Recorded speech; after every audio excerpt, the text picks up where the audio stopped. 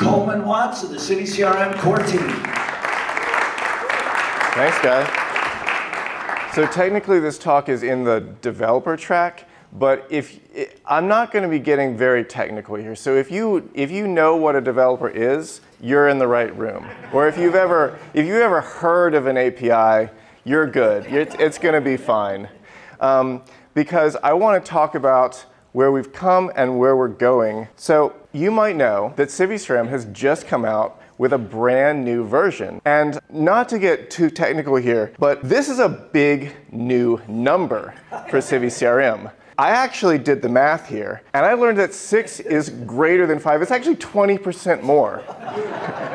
So this is what you're getting when you upgrade to Civi CiviCRM 6. You're getting 20% more than Civi CiviCRM 5. And the other thing that you might not know is that Civi CiviCRM 6 comes with a new upgraded framework for entities. Call it an entity framework, which we have now taken from what we've retroactively called version 1 to version 2, which is 100% more.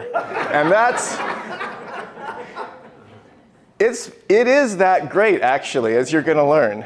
So, what is an entity? I don't know why developers use this term. It's stuff. It's your stuff. It's the stuff that CiviCRM keeps track of. And I want, because this is the 20th anniversary of CiviCRM, I do want to keep the spirit of looking at the history. And so let's just go back in time a little bit to the year 2005. And I, I went all the way back. You can like page through the CiviCRM blog all the way to like page 46. And there's a blog post from 2005 which shares the earliest screenshot I could find of CiviCRM version I think predating version one. Are, are you ready for this? It's actually not that bad looking. I mean, really, it's got the like bootstrap white that we later adopted, you know, many years later after going off from the gray. I, I think this is a screenshot of a V card. Uh, so this is not, not exactly what you see on the contact summary screen, but you'll recognize this next screen uh, which is create a new organization form. again, this is like, you know, CiviCRM 0.1. And so this was the beginning. In the beginning, there were contacts. That is, that's the C in CRM. I learned that. So that's where it began. But that's not where it ended.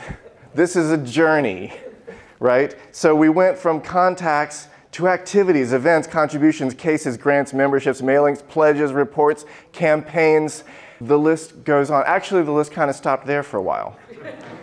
because adding each new stuff, entity, was a lot of work. It was a lot of developer time to do all of the th things to make the stuff in Entity Framework version 1. So the next logical question that most people were asking was this one what about goats? Because, well, this is also from the blog archive. This right here was published in 2013 on April 1st, announcing that CiviCRM would be launching the first GRM for Goat Resource Management, written by our very own Stube. It's a great read still um, and gets into a lot of the, the details, the technical details of managing GOAT resources. But here's the cool thing. Entity Framework version 2 actually lets you do this. To back up, in version 1, the reason that it was so you know, challenging to introduce a new entity into CiviCRM was because there was a, a couple of steps that you had to go through. So you would have to write an XML file to define the schema, and you'd have to generate the install SQL and the DAO code, and, and then regenerate the database, and then create a BAO class, and then write BAO CRUD functions, and then a query object, and add a search form and a views integration if you wanted to integrate with Drupal. You need to create a component for this, and write an upgrader and then regenerate the database again. Um, and you would also need to add a quick form controller, quick form page, Smarty template, menu XML. Uh, you'd have to insert that into the navigation menu. Uh, you'd have to write an API for it and Civi reports for it because those were hard coded. Uh, create a dashboard page and a summary tab, uh, which would have to have a data table AJAX callback because we upgraded data tables, uh, an importer class, and extend custom data so you could have custom data for your entity. that's all. That's, that's all you had to do to create new stuff in Civi CRM. And some brave souls actually did that. Uh, anybody here actually take on that challenge? Yeah, a couple of, yes, wow. What was that like? you had fun. Okay, good, good. You, you probably learned something along the way. Probably got frustrated a couple of times. Well, it, it wasn't that hard always because there were a few upgrades to uh, version 1. So by Civi CRM 3, you had hooks for entities, somewhere around the two, three cycle. You had hooks so that you could create an entity with custom code rather than having to just hack it into Civi CRM core itself, right? And by version four, um, you could do this in extension. You know, somewhere in the three to four cycle, you, you had extensions that could create entities using those new hooks. And there was a new tool coming out called Civix, which could actually generate some of that boilerplate code for you so you didn't have to handwrite everything. You just had to generate the boiler and then hand edit everything, which was way easier. And by version 5, um, it was pretty much the same, honestly. And so I want to put a question to you. By version 6, which is where we are now, you know, 20% more than the last version, how many of these steps do you think we have eliminated. This is, uh, I think, 24 up here. Any guesses? 20%. That's a good, that's a good guess.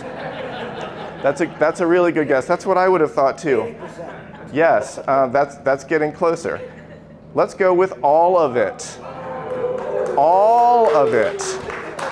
You don't have to do any of that to create a new entity. In fact, I'm going to do it right here, right now in this presentation for you. It's true. And in, this, in, in honor of Civi Goat, let's create Civi Zoo. We can, we can do better. I always try to do a little bit better than, than where the bar has been set. Okay, so you just need to install one extension, which is called ECK or Entity Construction Kit. This lets you do it all in the UI. And so we're going and once that extension is installed, um, just pretend that I just did that, you can go to this page called Entity Types. And from there, you can add a new entity type. Let's call it animal. Let's give it an icon.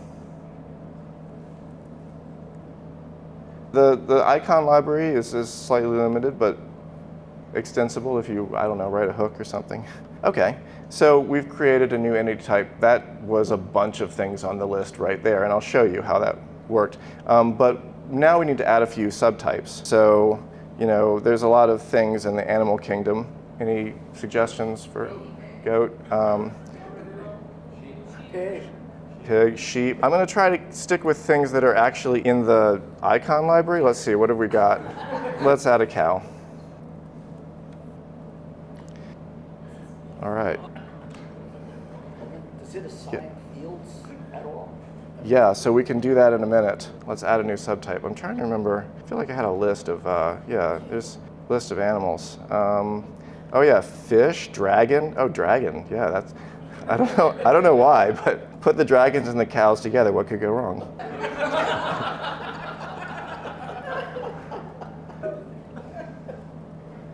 All right, that, that gets us started. We could, we could add more, but you know, with, got finite time in this presentation, and I want to show you the cool stuff, not just the icons. So what that's done for us now, you know, thinking about that slide and all the things on it which you've memorized so you, you're following along, we've now got some custom entities that actually exist. So we can view the records, and we can add something. So we've got, so it's just generated this screen for us, which is SearchKit, and it's also generated a form, which is Form Builder. I'm a really creative guy. So we've, we've just added this to the menu also. So inserting into the menu. You can put it somewhere else, but this just gets you started. And to think about the other things that we talked about needing in your own entity. Another one was trying to add it to the contact summary page and also adding fields to your entity. So let's look at that. Uh, customize data, and you can add custom fields to your animal.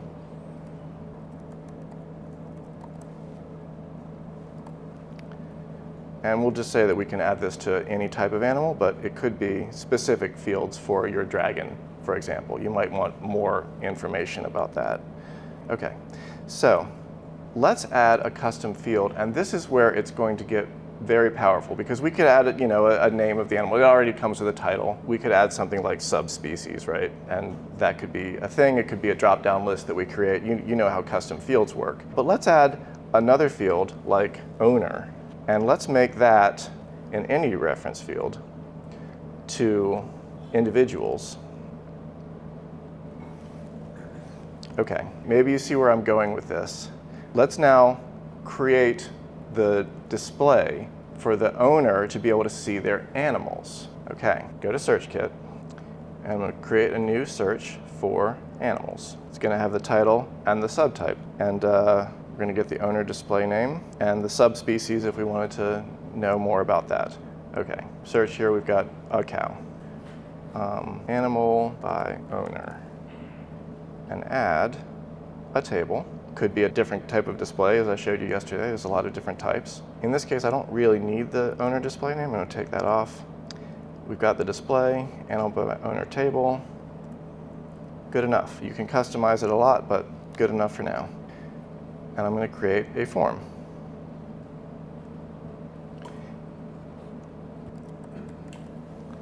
All right, this is going to be the animals and we're going to place it, we need to expose it to the contact summary tab. And I'm a stickler for this, let's keep the right icon. All right, you can pick where you want it. You can use the contact layout editor to specify more directly what you want in it, but this sort of gives you the idea. Um, owner, is the contact being viewed? Okay, we could have picked any field for that, but we made one specifically for that purpose.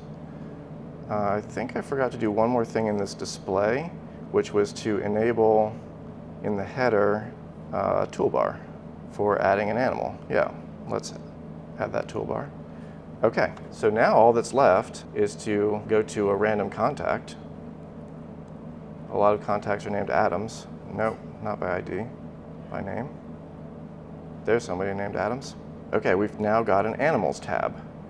And we have an add animal dropdown, and we can add a good dragon name. Oh my God, Sparky? Okay. All right. As you can see, a little bit of magic glue in ECK has picked up on the fact that um, I just did a patch for this when I was preparing for this presentation because I was, this should work. This should work. It does work now. It's, it's been merged um, to populate the owner based on the fact that we picked that field in SearchKit to be the one that filters. Okay, Sparky the Dragon is now owned by Winfred Adams. We've created now basically a whole new component of Civi CRM. It's got a menu, it's got forms, it's got reports, it's got a contact summary tab. You can import the data. You can export the data. Um, how long did that take? Five minutes? Yeah, I know, right? Yeah, I mean, if you think of it, all of this stuff, we just did all of this, all of it.